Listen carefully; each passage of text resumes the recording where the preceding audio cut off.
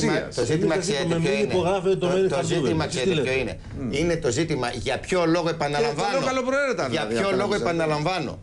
Μετά από τέσσερις μήνες κυβέρνηση ΣΥΡΙΖΑ ΑΝΕΛ, τους ζητάνε να πάρουν τρία δι επιπλέον φόρους για να πετύχουν αυτό που η κυβέρνηση προηγούμενη Μα το δεν πέτυχε ισχύει, την δεν προηγούμενη ισχύει αυτό, χρονιά. θα απαντήσω. Ε, τόσο πιο απλά. Δεν ισχύει αυτό. Δηλαδή για ποιο λόγο, ενώ μειώσανε, κατορθώσανε, αν το, από ό,τι φαίνεται, να μειώσουν το δημοσιονομικό στόχο για φέτος, για ποιο λόγο πρέπει να βάλουν επιπλέον φόρους στους Έλληνες χωρίς να κόψουν ούτε ένα φόρο. Χωρίς να μειώσουν Γιατί ούτε ένα έχει φόρο. πάει λίγο- έχει- Λοιπόν, έχει- έχει δεν έχει πέσει- πάει λίγο, έχει πάει πολύ. Αυτή είναι η αλήθεια. Άρα, Δεν- δεν ποιο κάνουμε είναι το εικονική πρόβλημα, κύριε φίλοι, πραγματικότητα εμείς. ησυχάστε λιγάκι. Ησυχάστε. Να ακούσετε. Σε ποιους Δεν είναι αναφέρετε; κακό να Σε μάθετε, ποιους να μαθαίνετε. αναφέρετε; Σε ποιους Λοιπόν, αναφέρετε; για σένα, για εσά σα μιλάω. Ε, μάλλον εσείς λοιπόν, πρέπει να ησυχάσετε κύριε και να Καμπουράκη, λέτε ψέματα. λέω λοιπόν. Ε, τώρα μην μιλάτε εσείς που, Ελάτε χρεοκο- τώρα. που ε, Ελάτε. γεμίσατε τον κόσμο Εντάξει, με σο- ανακρίβειες. σο- Σοβαρευτείτε. Ο κύριος Μητρόπουλος είπε ότι Σοβαρευτείτε. υπερβάλλατε λίγο. Σοβαρευτείτε. Χρεοκοπήσαν τα ψέματά σας και γι' αυτό Ένωση- το λόγο η χρεοκοπεί και η Ένωση Ελλάδα δεν αυτή τη έχει δικαίωμα στιγμή. να μιλάνε. Σοβαρευτείτε. Ακούστε, ή θα χρεοκοπήσει η Ελλάδα Καλά ή θα είπατε. χρεοκοπήσουν οι Ξανά προεκλογικές Μπακογιάννη. σας. Ξανά Ή θα Μπακογιάννη. χρεο... Ακούστε, Ξανά ακούστε Μπακογιάννη, και λοιπόν, εσείς. εντάξει. ή θα χρεοκοπήσει η χώρα Και την καταδικάζουμε ή θα και την χρεοκοπήσουν τα αποστηρίζουμε ψέματα τα και δικά την σας. υιοθετούμε την Και τα Μπακογιάννη. δύο δεν γίνεται. Δεν Διπρόσωπο γίνεται. λοιπόν.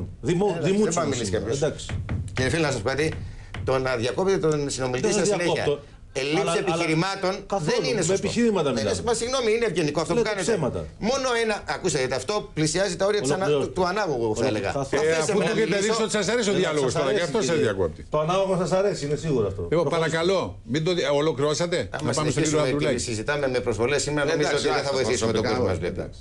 Δεν νομίζω ότι έχει προσφέρει. Δύο ανάγωγο, πράγματα το θα σας ανάγωγο πω, τώρα, κύριε εντάξει, Οικονομέα. ε, εντάξει. Πέρσι, το πρώτο πεντάμινο είχε δαπανίσει η προηγούμενη κυβέρνηση σε πρόγραμμα δημοσίων επενδύσεων ένα δισεκατομμύριο.